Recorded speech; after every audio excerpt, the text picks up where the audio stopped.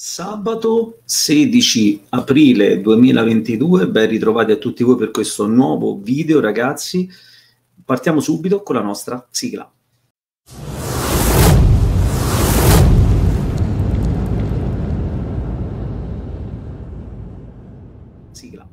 Bene, bene, ben ritrovati ragazzi. Partiamo immediatamente.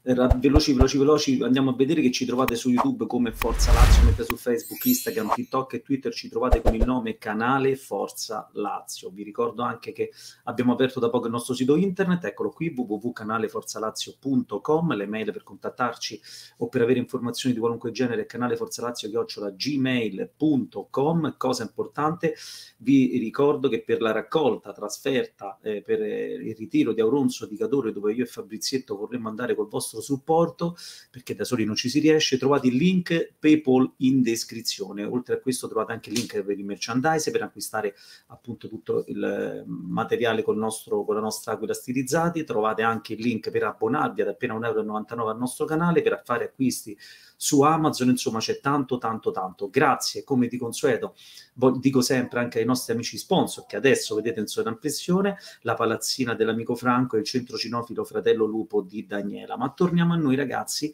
perché adesso è il momento di andare a vedere che tipo di partita ci può aspettare questa sera. Vi ricordo, tra l'altro, ore 20 e 30 via la nostra live sul nostro canale YouTube per vedere insieme la partita e commentarla insieme tra di noi pre, durante e post partita. Quindi mi raccomando, vi aspetto.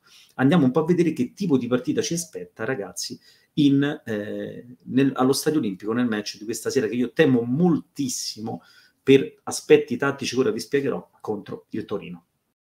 Bene, andiamo a dare eh, un'occhiata a, que- a quella che dovrebbe essere la formazione che questa sera scenderà in campo allo stadio olimpico. Ok ragazzi, andiamo quindi a, a vederla insieme. La Lazio scende con Stracoscia tra i pali, quartetto difensivo composto da sinistra a destra da Marusic, Acerbi, Patrick e Lazzari. A centrocampo, come possiamo vedere, il solito terzetto con Leiva, Luis Alberto a sinistra e Milinkovic alla sua destra. In attacco Zaccagni, Immobile e Felipe Anderson. Questa è appunto la formazione della Lazio.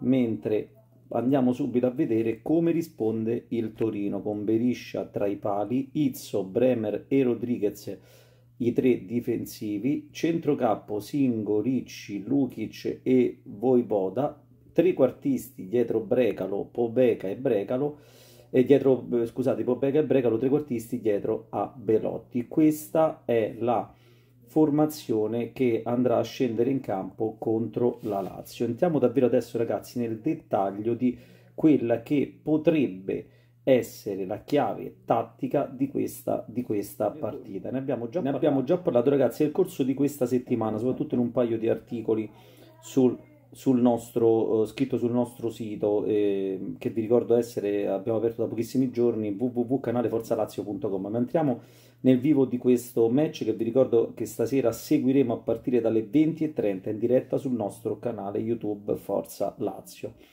Allora, eh, cosa può creare qualche problema alla Lazio? Questi giocatori qua, secondo me.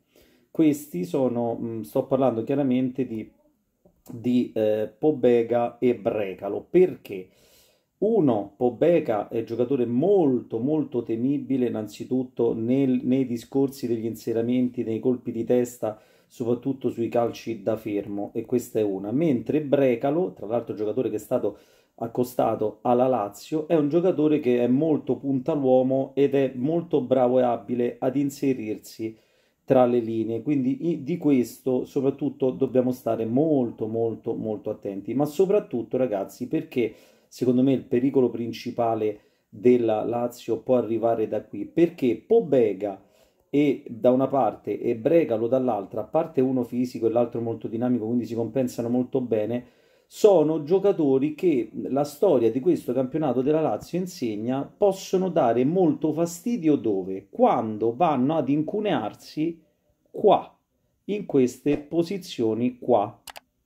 Posizioni che devono chiamare in gioco Lu- Luis Alberto da una parte e Milinkovic dall'altra.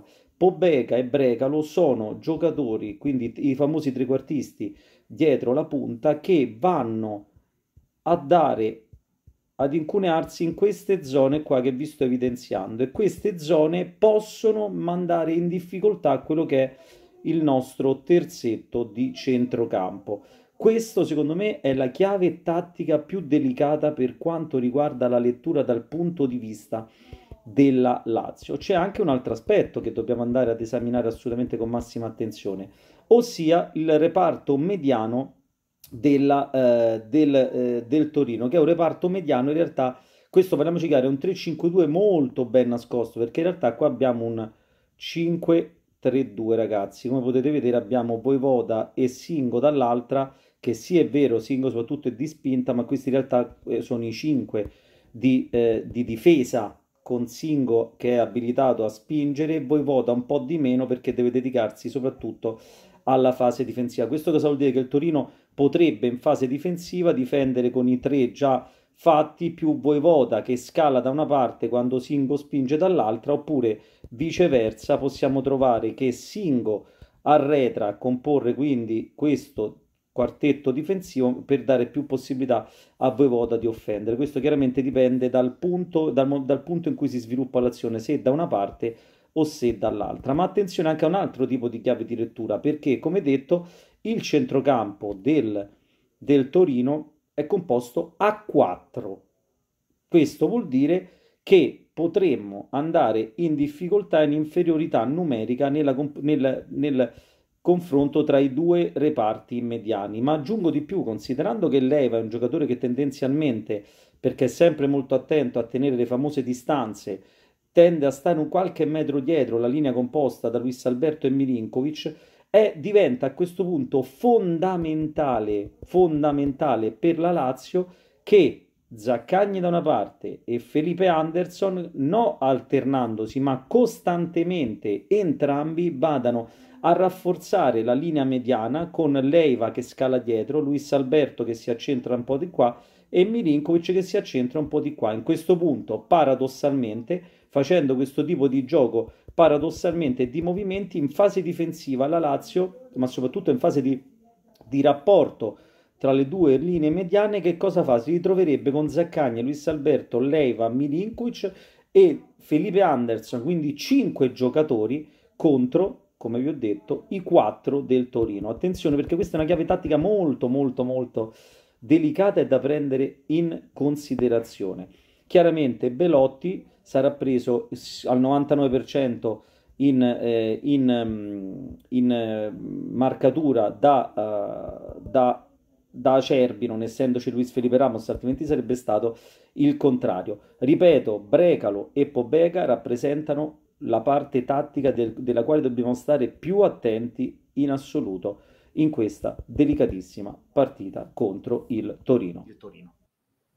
Bene, penso di aver detto tutto in questo video. Ditemi un po' la vostra, cosa ne pensate nei commenti. Io vi mando un caro abbraccio e vi rinnovo ancora l'appuntamento a questa sera, lo ripeto, 20 e 30 in rigorosa diretta sul nostro canale YouTube Forza Lazio per vivere insieme le emozioni di questa attesissima partita che per la Lazio vale davvero tanto, tanto, tanto.